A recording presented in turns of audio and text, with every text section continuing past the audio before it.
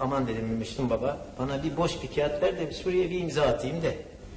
Ben de kurtulayım, bu insanlar da kurtulsun dedim ve boş bir kağıda imza attım. Başkanlarımız getirdi önümüze boş mukavele imza attı. Çünkü Trabzonlusun. Çok daha büyük paralar kazanabilirdim ben. Boş mukavele efsanesi doğru. Tabii ben şöyle ben diyordum ki Biz boş sözleşmeye imza Bu atardık. sözleşmeye imza atalım gibi bir şey sonuç çıkıyor. Sıkça duyduğumuz bu söz gerçek.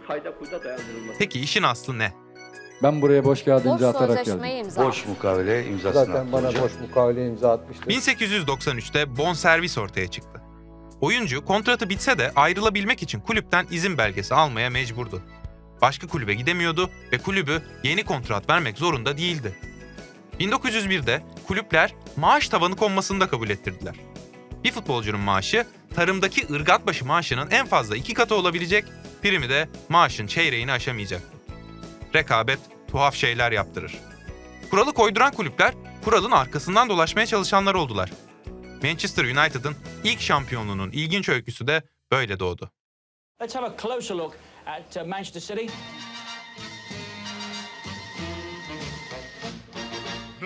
Bu aralar 115 suçlamayla yargılanacak olan Manchester City'nin 118 yıl önce ücret sınırı daha 4 sterlinken futbolculara açıktan ödeme yaptığı tespit edildi. Yöneticiler ve 17 futbolcuya ceza yağarken kulübe o 17 oyuncuyu satma cezası verildi. Queen's Hotel'de antik çömlek gibi açık arttırmaya çıkarıldılar. Manchester United menajeri Ernest Mangnall fırsatı kaçırmadı. Britanya futbolunun ilk süperstarı olarak gösterilen gal büyücüsü lakaplı Billy Meredith başta 4 oyuncuyu kaptı. 1907'de cezaları bitti, takıma katıldılar ve United 1907-1908 sezonunda tarihinin ilk şampiyonluğuna ulaştı. Tabi ezeli rakibinin de 4 değerli ikramıyla. Başkentten bir şampiyon hedefiyle Arsenal'ı batmak üzereyken alıp Kuzey Londra'ya taşıyan ve en büyüklerden biri yapan Sir ünvanlı Henry Norris'in 1929'da ömür boyu men cezası alışı da açıktan ödeme yüzünden. Yağmur çiftçinin yüzünü güldürdü klişesinin futbolcular için de geçerli olduğu bu dönem 1961'e dek sürdü. George Eastham Newcastle'ı dava edince bitti. Uygulamanın hukuka aykırılığını bilen kulüpler daha dava bitmeden sendikayla uzlaşmayı seçti.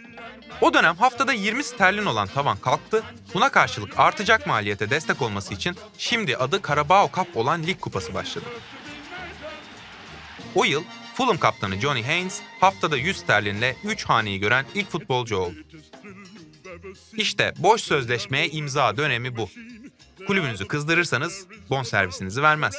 İki buçuk yıl boyunca mesleğe ara vermek zorunda kalır, ne iş bulursanız onu yaparsınız. Sıkıysa imzayı atmayın. Alttan alta kulüp sevgisi iması yaparken taraftarları şimdiki futbolculara karşı amiyane tabiriyle dolduran o söylemin temelinde mecburiyet faktörü var. Sadece coğrafya değil, doğum yılı da kader olabiliyormuş. Sözleşmesi bittiği zaman da bedavaya gidiyor. Bosman kanunlarından sonra dengeleri çok değiştirdi. Bu dönemi 95'teki Bosman kararı bitirdi. J'établis aussi que pour moi aujourd'hui, j'arrive au sommet de la montagne.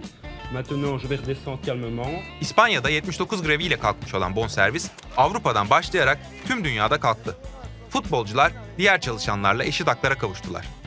Ücretler fırladı. Peki rakamlar aşırı mı? 2017'deki maçtan Floyd Mayweather 280, Conor McGregor 100 milyon dolar kazandı. Mayweather 28 dakikada futbolcuların %99'unun tüm kariyeri boyunca kazanacağından daha fazlasını aldı. Manny Pacquiao maçını da eklersek 73 dakikada yarım milyar dolar. NBA'de geçen sezon 20 milyon dolar üstü maaş sayısı futboldan fazla. Yazın turdaki tüm kamyon şoförlerine ekstradan 100'er bin dolar dağıtan Taylor Swift'in 60 konserlik Eras Tur'dan kazancı 4.1 milyar doları bulacak. Dwayne Johnson'ın tahmini 2021 kazancı 270 milyon dolar, so. Tom Cruise'a her biri yüzün üzerinde kazandırmış 3 filmi var. Hele ki 90'larda bazı aktörlerin yılda 70 milyonu aşan kazançları futbolcuların hayaline bile giremezdi. Ve bu maç, konser ya da filmlerin hiçbiri ilgi ve etkileşimde Dünya Kupası veya Şampiyonlar Ligi finalinin yanına bile yaklaşamıyor. Manzara bu oldukça kazançlara çok demek hayli zor. Kulüpler bu değişimi yönetmekte zorlandılar. There is no more transfers. There is no more this kind of club. 2000'lerin ortalarına dek tavsiye, ücret gelir oranı %50'yi aşmasındı. Hatta Almanya %50 kuralını bu dönemde koydu. Ama Moorhouse'un sert dilli akademik çıkışı yaklaşımı sorgulattı. Avrupa Kulüpler Birliği kulüplere %55-%70 aralığı tavsiyesini verdi. %55'in altı potansiyeli kullanamama riski, %70 üstü ise tehlike olarak görülüyor. UEFA'da Financial Fair Play'de %70'i baz almıştı. Giderin üçte ikisini oluşturan tek bir kalem doğal olarak yaptırımların ilk adresi oldu. Tatmayan kulübümüz neredeyse yok. Bu kural değişti. Artık İspanya'dan aparıp sonra da içini boşalttığımız takım harcama limitleri yöntemine benzer transfer gelir ve giderlerini de kapsayan yeni ve daha uygun bir formül var.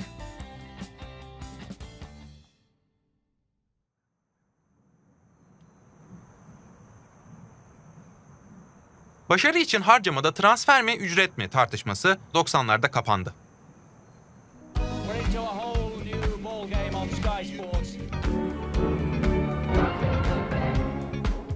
Kulübün orta ve uzun vadede başarısı adına ana ölçüt taşıyabileceği ücret yüküdür. Kadro kalitesini ücret gücü belirler çünkü iyi futbolcu iyi para ister. Geliri sınırlı kulüplerin yakaladığı iyi kadroyu korumaları zordur. Örneğin Ajax'ın sınırlı geliri bir süre sonra yetiştirdiği veya bulup geliştirdiği parlak yeteneği elde tutamamaya dönüşüyor. For young kid, it's like, whoa. oyuncusuna diğer kulüplerin önerdiği ücretlere çıkmıyor. Çünkü tutabilmek için rakam yükseltmek takımda tüm ücretlerin yükselmesini getirecek bir süreç. O yeni seviyeyi sürdürülebilir kılacak bir faaliyet geliri ise yok. Tutmanın daimi başarı garantisi de yok. Haliyle satmayı seçmek zorunda kalıyor.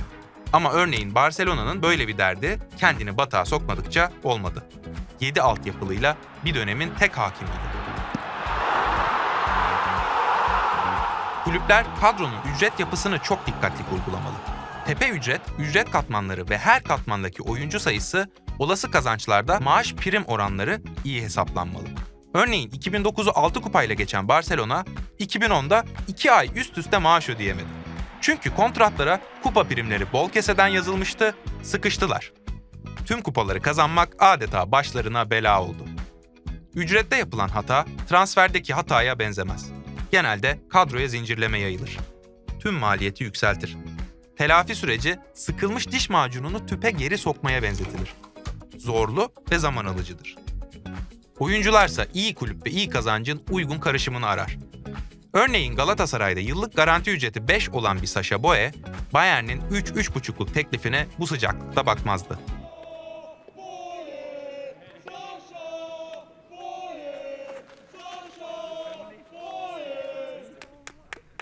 Ücret yaş ilişkisi ile transfer bedeli yaş ilişkisi neredeyse zıt. Futbolcunun kazancı yaşı ilerledikçe artar. Araştırmalar futbolcuların en iyi geliri CV'lerinin kabardığı, şöhretlerinin tepede olduğu 31-32 yaşlarında elde ettiğini gösteriyor. İyi yönetilen kulüpler genel olarak 30'unu gören futbolcuları tutmakta ısrarcı olmamayı, hatta sıkça onlara pazar aramayı seçiyor. Örneğin İngilizlerde 30'unu geçen oyuncuyu elden çıkarmak yarım asırdır neredeyse sistematik. 70'lerde Liverpool menajeri Bob Paisley'nin dikkat çektiği Arsene Wenger'in tabiriyle oyuncunun geçmişine aşırı değer biçme eğiliminin farkındalar. You cannot buy success just by buying big names. Ve maalesef Türkiye o aranan pazar. Kıtada transferde dünyayı besleyen İngiltere ile alışverişinde zarar yazmayı başarabilen tek ülkeyiz. Geçmişi cancanlı oyuncu ısrarımız, geçmişine aşırı değer biçilmişlerin yüksek ücretleri olarak dönüyor. İlk bölümümüzü hatırlarsak Süper Lig'in transferde 30 yaş üstü aşkına vurgu yapmıştık. O aşkın faturası sadece geri dönüşü imkansıza yakın transfer bedeli olarak değil, ücret olarak da önümüze konuyor. Kulüplerimiz biliyorsunuz ekonomik olarak çok zor durumdalar. Türkiye'deki ücret gelir oranının hep yüksek oluşunda üç büyükleri öne çıkarmak zor. Asıl sorun diğer kulüplerde. Açıklanmasa da ligde her sezon gelirinden fazla ücret ödeyen en az 4-5 kulüp olduğu ortada. Örneğin UEFA'ya göre 2018'de ligde ücret gelir oranımız %79'du. Oysa 3 büyükler 2017'yi %63, 2018'i %69'la geçti. Ama ücret sıralamasına göre 1 ila 3'te %69 olan ortalamamız 4 ila 6'da %96, 7 ila 18'de %87 idi. İlk 3 sonrası evlere şenlik. 7 ila 18 grubunda ortalama giderimiz Hollanda'nın 7-18'ini 2'ye, Portekiz'inkini 4'e katlıyordu. 2012'de diğer 14 kulübün ücret gideri 4 büyüğün 63 milyon euro gerisindeydi. Diğerleri denetimsiz ve rahattı ama Financial Fair Play büyükleri baskıladı.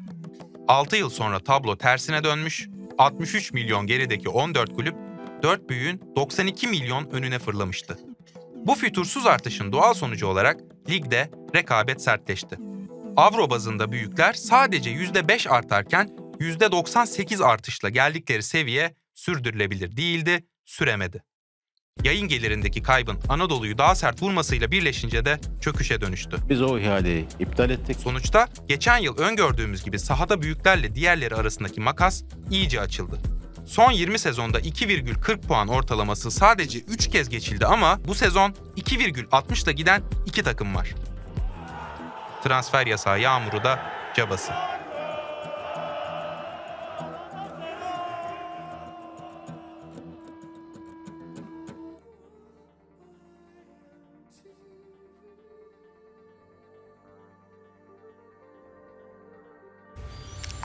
Kamuoyunda kulübün gideri değil magazini dediğimiz kısmı daha gözde. Zenginin malı züğürdün çenesini yorar atasözünü haklı çıkarırcasına kulübün yükünden ziyade bireye odaklanılıyor. Bunda günah keçisi arayışın ne derece etkili bilinmez ama kap bildirimlerinin rolü bariz. Ve o bildirimler epey sıkıntılı.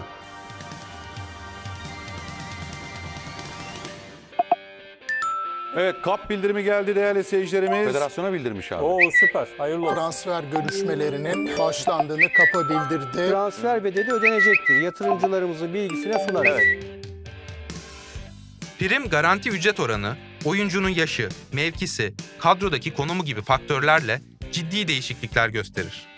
Genel tavsiye, ücretler 3 ise bunun ikisini garanti ücretlerin, birini primlerin oluşturması, takım performansına göre giderin ve oranın aşağı yukarı hareket etmesi.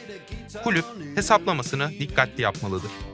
24-30 yaş arasında gençlerde ve yaşı ilerlemişlerde dağılım yapısı farklıdır. İmaj hakları ve paylaşımı apayrı bir boyut. Mesela Galatasaray Ocak Divan Kurulu'nda 6 ayda 3 oyuncuya 114 milyon menajer ve imaj hakkı ödendiğini açıkladı. Bu da Tete, Zaha ve Icardi'den kaynaklanan bir imaj hakkımız. Kabaca yılda 7,5 milyon avro demek. Kıtada çeşitli ülke borsalarında işlem gören kulüpler var ve hiçbiri ücret bildirimi yapmıyor. Bu gariplik sadece bizim mevzuatta. Resmi doğru göstermeyen bu bildirimlerse abartılı düzeyde ciddiye alınıyor. Oysa bildirilen sadece garanti ücret. İmza parası, menajer ücreti ve envai çeşit primi yok. Bu da bildirimleri manipülasyona açık kılıyor. Kontratlar çok farklı yapılarla düzenlenebilir. Yani kısaca 4 olarak yapılan iki bildirimin birinde sonuç 4,5, diğerinde 8 olabilir. İşin doğası bu.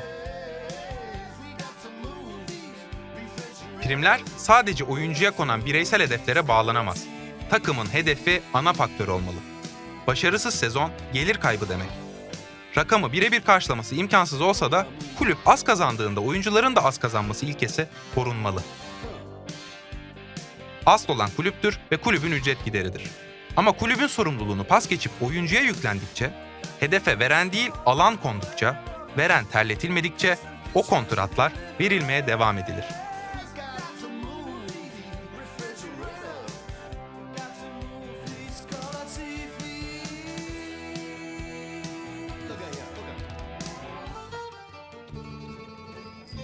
Ücret tavanı sınırı yılları. Gianpiero Boniperti, Juventus'un yıldızı ve hak ettiği parayı almadığına inanıyor. Başkan Gianni Agnelli, ileride onursal başkanlık verilecek Boniperti'ye her bir golün için bir sığır hediye. Golü at, söylediğim sığır çiftliğine git, seç, babanın çiftliğine götür der. Kuralı ekarte etmekte uzlaşırlar. Bir süre sonra sığır çiftliğinin sahibi Başkan Agnelli'yi arar. Şikayetçidir. E bu adam sürekli gebe sığırları alıyor.